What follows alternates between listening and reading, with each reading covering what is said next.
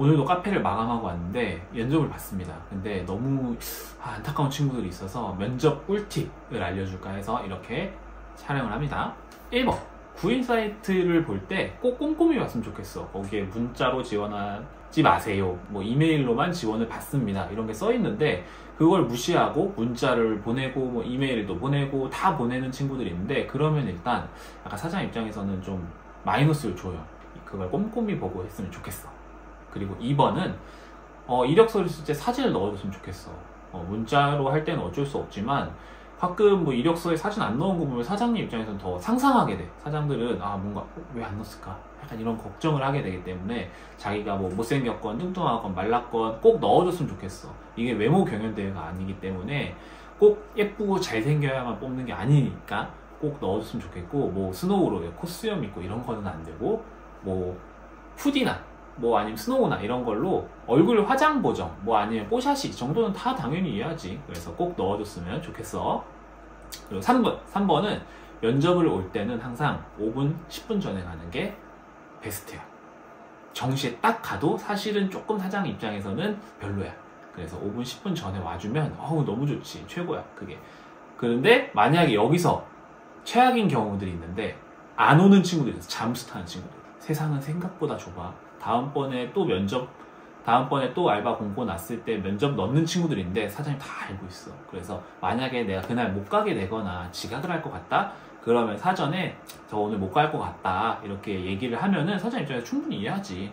근데 그냥 잠수 타는 애들은 자기 거기에 뭐 알바 구인 사이트에 블랙리스트 이런 거 하는 거 있거든. 꼭 그런 걸 하고 싶어져. 그러니까 연락을 하고 오지 않거나 지각을 해줬으면 좋겠다. 그리고 네 번째. 와서 너무 부끄러워하지 않았으면 좋겠어. 와가지고 어 막 이렇게 저 오늘 아 이렇게 면접으로 아 이렇게 하지 않았으면 좋겠어. 사장은 너가 이든 아이든 상관이 없어. 우리 가게에 들어왔을 때 밝게 웃어주면서 안녕하세요. 저 오늘 면접 보러 왔는데요. 라고 하면은 뭔가 좋아 보여. 그래서 I인 사람들도 와가지고 한 번만 용기 내서 안녕하세요. 저 오늘 면접 보러 왔는데요. 라고 하면은 사장님 너무 좋아할 거야. 어, 다섯 번째, 요거가 좀 꿀팁일 수 있는데 가기 전에 가게 정보를 좀 알아놨으면 좋겠어요. 여기가 뭘 하는 것인지, 아니면 뭐가 시그니처 메뉴인지, 아니면 뭐 어떤 공간인지 이런 것들을 미리 알아가지고 사장님이 어 뭐 이런 거 좋아하세요, 뭐 커피 좋아하세요 이럴 때 어 자기 여기 되게 좋아한다. 뭐 여기가 만약 소금빵 맛집이다. 그럼 어 자기 소금빵 너무 좋아하는데 여기서 꼭 일해보고 싶다. 뭐 이런 얘기를 해주면 사장님 입장에서는 와 얘는 준비된 인재인가? 이런 생각을 하지. 여섯 번째, 가끔 사장이 질문 있어요 이런 거 할 때 돈 얘기하는 친구 있어. 주휴수당 주나요? 아니면 뭐 최저시급은 어떻게 되나요?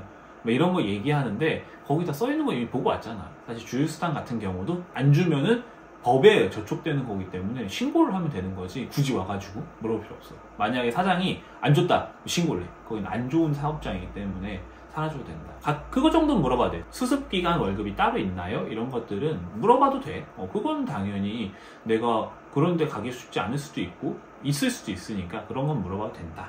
일곱 번째 질문 있냐 뭐 이런 거 할 때 살짝 자기 어필하면 좋아. 자기 너무 여기서 일하고 싶다 이런 거 하면은 사장 입장에서는 아 얘가 되게 절박하구나. 우리 가게에서 너무 일하고 싶구나 이런 게 하기 때문에 마지막에 뽑힐 확률이 훨씬 높아지겠지.